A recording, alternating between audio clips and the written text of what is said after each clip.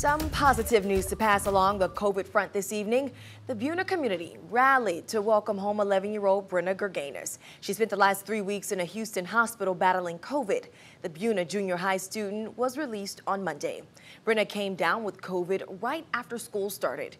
Now, while at Texas Children's in Houston, she had to have breathing treatments every hour and her lungs suctioned every four hours. Her family says doctors originally thought she would need to stay for up to a month in the hospital, but she's now home, greeted with those hugs and treats, welcoming her back. She's gone from being incubated, paralyzed, uh, so that she wouldn't move, uh, to coming out of it um, in a short period of time. And she is miraculously recovered. And it's all through the prayers and love of all of you. And we really thank you for it. Brennah's father, Tim, says she's a fighter and they're grateful for everyone's prayers and support over the past three weeks.